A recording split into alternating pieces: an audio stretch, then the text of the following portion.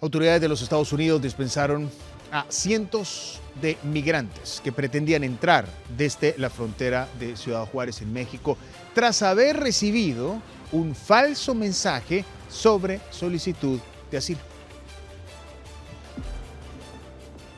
La policía fronteriza tuvo que detener una concentración de migrantes en el límite de Ciudad Juárez al querer ingresar a los Estados Unidos tras recibir una notificación falsa de que podían pedir asilo de parte de una fuente aún no confirmada. A inicios de este año, el gobierno de Estados Unidos estableció que los migrantes solo pueden presentar una solicitud de asilo por medio de una aplicación móvil desde el país de origen o desde un país de tránsito hacia Estados Unidos. Sin embargo, esta autorización se mantiene en pausa y quienes crucen la frontera a pie sin hacer este proceso pierden automáticamente la oportunidad de reclamar asilo. De momento, las autoridades están alertas sobre este tipo de mensajes falsos que se aprovechan de la necesidad de los migrantes. Victoria Monge para Tele 2.